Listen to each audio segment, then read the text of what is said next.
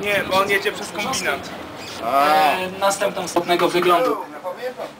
Natomiast od początku XX wieku, a więc kilka lat po wybudowaniu kocjuszówki, e, utworzono właśnie mniej więcej w tym miejscu odnogę od tej linii, e, tak zwaną mogiłkę. Mogiłka szła obecną Aleją Jana Pawła II przez stację Czyżyny Monopol, a więc przy zakładach przemysłu tytoniowego, bowiem zakłady te istniały